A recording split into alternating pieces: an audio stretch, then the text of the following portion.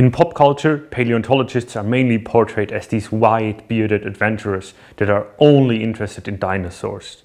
But this is pretty much like saying that biologists are only interested in whales, which is of course nonsense. In reality, paleontology is a lot more diverse than it is portrayed in the movies. It can be characterized as a study of life on our planet, which makes it a combination of geology as the study of the past of our planet and biology as the study of life. So essentially every question asked in biology can also be asked in paleontology, simply by shifting the focus from the present to the past.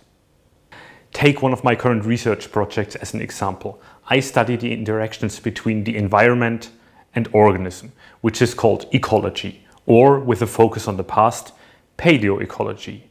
A typical example ecologists ask is, why are some organisms more common than others? For example, why are there more plants than dogs? But to answer this question, we first have to know how many of these organisms are there.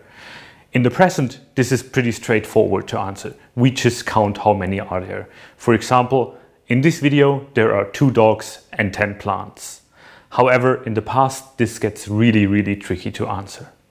This is because of a process called fossilization, which summarizes all physical and chemical processes that turn a dead organism into a fossil. The thing with fossilization is that it strongly depends on the environmental condition and the type of dead organism. I try to understand how fossilization alters our perception of commonness. Most interestingly, in what cases is the most common fossil actually the most common organism? And if it is not, how does this alter our perception of the ecology of the past? For this, I look at two factors that contribute to fossilization. The first is the robustness of the dead organism, be it bones, shells or leaves. More robust organisms are less likely to break or to be disintegrated. This increases the chance of them to turn into fossils.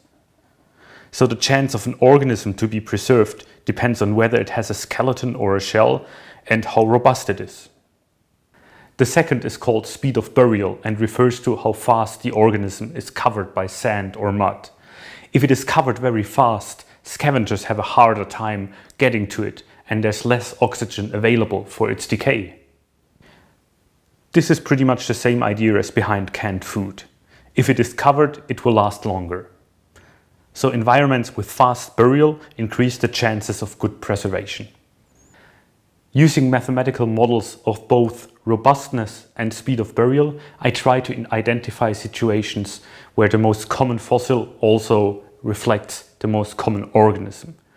So for the past, we cannot tell whether there were more dogs than plants or vice versa, simply because plants rot very fast, whereas dogs have a lot of hard parts like teeth and bones that are fossilized more easily.